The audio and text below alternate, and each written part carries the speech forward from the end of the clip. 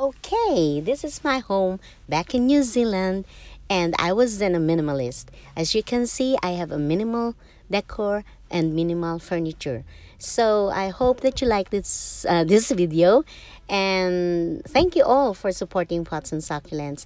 And if you haven't subscribed yet, please do subscribe and don't forget to hit the bell button so you can be notified when I have a new video. Bye everyone!